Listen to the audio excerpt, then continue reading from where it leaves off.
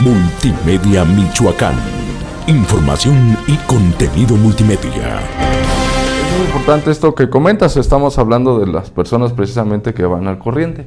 Eh, en el caso de los que no han, no han obtenido placas 2022, entonces sí tendrán que acudir a las oficinas de rentas de, de, su, de su municipio o, donde, donde les quede un poquito más cerca este, sí tienen que acudir eh, de manera este, personal y bueno, cumplir con los requisitos y, tendrán que pagar ahí en las oficinas de rentas para obtener las placas. Ahora, bueno, el año pasado se extendió hasta el 16 de diciembre el, pagar sus placas sin, sin recargos y ahora pues ya, ya, ya tiene algún, algún tipo de multa y actualización de, de su del obtener sus placas.